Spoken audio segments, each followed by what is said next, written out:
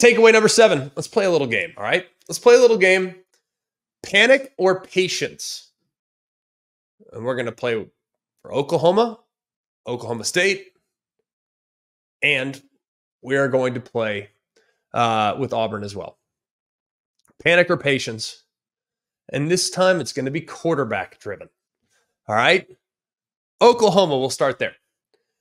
We already talked a little bit about Oklahoma earlier in the show. Jackson Arnold, five star, was anointed the starting quarterback at the end of last year.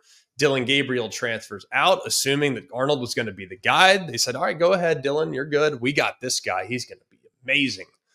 Well, so far, he's five starts into his career.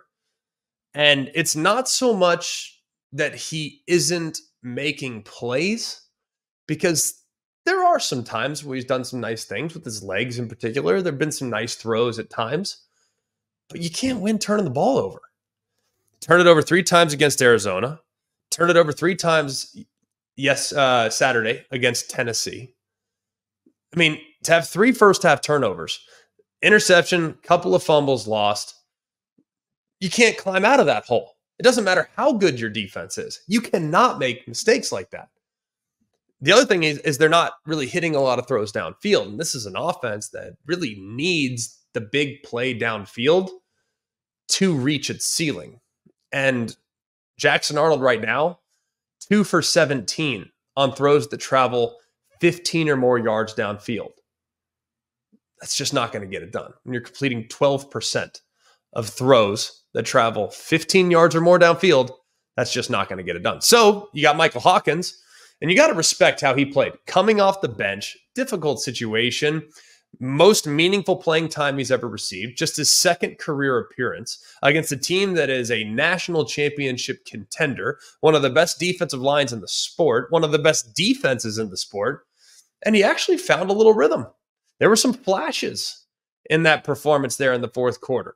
Plus, you know how many teammates he won over by those two near touchdown runs. They were both called scores, of course, and were reviewed and, and, taken off. But the second one where he's airborne and flipping and somersaulting into the end zone, body on the line, that's how you gain the respect of your teammates. So the big question time to panic or patience with Oklahoma and their quarterback situation? I think it's time to panic because what I've seen from Jackson Arnold, he's not playing winning football right now. He's just not. Uh, maybe the weight of the world is just too heavy on his shoulders right now. Maybe he's trying to do too much. And I think he presses for sure, presses for sure. And it appears from a distance like he kind of gets down on himself in the event in which he faces adversity. Can't have that.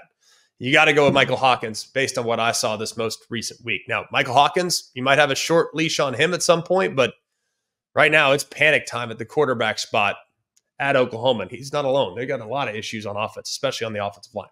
Let's go to Oklahoma State. This was a panic move, by the way, in my opinion. Like watching this game. Now, did Alan Bowman have his best stuff? No. No. I, I didn't think he was playing very well, but you're down seven. And you're going to bench the guy that has played seven years of college football. And Gundy said after the game, quote, sometimes we don't do it a lot here, but sometimes you got to get a guy out of there and calm him down a little bit. So I don't know what was going on necessarily, the interaction, and I don't know their reads and their processes. I didn't think like Bowman's start warranted a benching. You put in Rangel, Rangel, who has played a little bit, didn't play very well. He finishes three of 11 for 31 yards in four drives. Put Bowman back in the game. That leads to back to back touchdown drives. He did throw an interception, but he finished the game 16 to 33 for 206, a couple touchdowns and two picks. You got to have patience. Like Bowman's your guy. Okay. Bowman's your guy. And I think he responded to the benching pretty well, but it did feel like a quick hook for a guy that is really the sole reason why you were 3 and 0 heading into that game in the first place. And then finally to Auburn. Panic or patience? This one's panic, but it should have been patience. Now, Hugh Freeze has benched multiple quarterbacks in the last four games. Here's the issue If you watch the game played by Payton Thorne a couple weeks ago against Cal, yes, you look at the box score. You look at the box score, you see four interceptions, you say that's just not good football. Then you watch the game itself and you watch the plays.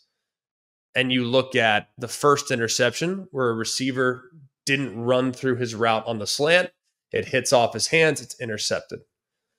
The second interception was rolling, trying to make a play, moving in the pocket because your offensive line hadn't blocked a soul all day. You're trying to make a play, your arm gets hit up in the air, gets intercepted. The third interception, you try to throw a back shoulder down the left sideline, and the corner plays it perfectly, but the receiver just kept running, didn't really stop or try to make a play on the ball. Then the fourth interception, you're backed up trying to make a play with 30 seconds left down a touchdown. Well, Auburn panics. They put in Hank Brown, who at this point yeah, he lit up New Mexico, who at the time was the worst defense in the sport. And it was not good when he started to see real capable defenders on the other side. Through the interception, all right, and then things really spiraled for him. He went four of 10 the rest of the way, two more picks. One of the interceptions was right at Jaden Johnson, the safety. And he just stared it down the whole way. Stared it down the whole way. And then there was, I mean, other, you got Robert Lewis wide open underneath. Airmail's another one. Like Hank Brown was never going to be the answer, I don't think, with this Auburn team. The offensive line's just not good. The offensive line's not playing good football. So you got to have a guy with some mobility. And Payton Thorne is that guy. Now, the fan base was frustrated by him, sure. But he, I think Hugh Freeze should have stuck with him from the jump. Instead, he puts in the freshman, He's great against subpar competition, and boy, did he come back to earth in a big way. Siri just chimed in there. I don't know if you guys can hear that. I'm not sure how, but Siri just chimed in. Uh, should have probably had my phone on. I guess do not disturb.